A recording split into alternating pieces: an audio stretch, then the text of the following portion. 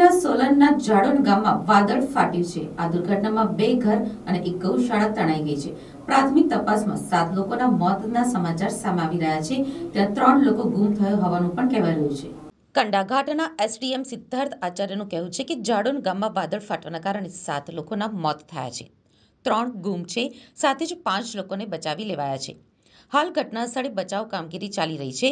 હિમાચલ પ્રદેશમાં red alert વચ્ચે ભારે વરસાદ થયો છે અને સોલન જિલ્લાના કંડાઘાટ ઉપવિભાગના મામલીગ ઉપ તહેસીલના જાડોન ગામમાં વાદળ ફાટવાના કારણે બે ઘરો અને એક ગૌશાળા તણાઈ ગયા છે.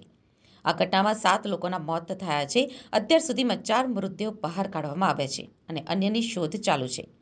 તો બીજી તરફ હિમાચલ પ્રદેશમાં ભારે વરસાદને જોતા હિમાચલ પ્રદેશ યુનિવર્સિટીએ પીજીની પરીક્ષા રદ કરી છે. આ પરીક્ષાઓ ચૌદમી ઓગસ્ટે યોજાવાની હતી.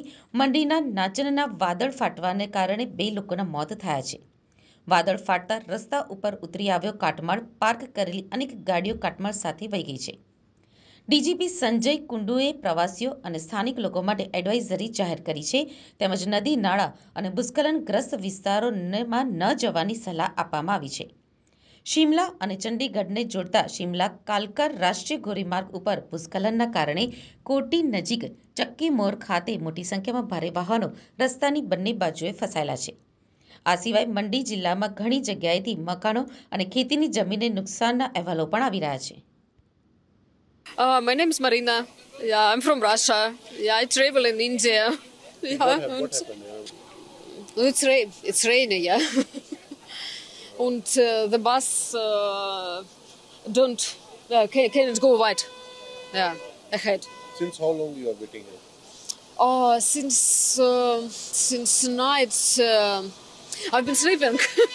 Honestly saying, yeah, but, but I I think um, since uh, three o'clock at night. Actually हम लोग जा रहे हैं हमटा पास बट वहाँ पे इधर अपना मंडी जो है वहाँ पे शायद बाढ़ आया हुआ है पानी भरा हुआ है। सो रास्ता वहाँ पे बंद है और हम लोग यहाँ पे तीन बजे कुछ पहुँचे मॉर्निंग में। और तब से यहाँ तक है अभी क्या शायद टैक्सी का अरेंजमेंट हो रहा है तो टैक्सी थ्रू हम लोग जाएँगे मनाली अल्टरनेट वे से। बट वो वे कभी क्लियर होगा उसका कुछ अभी तक पता नहीं है।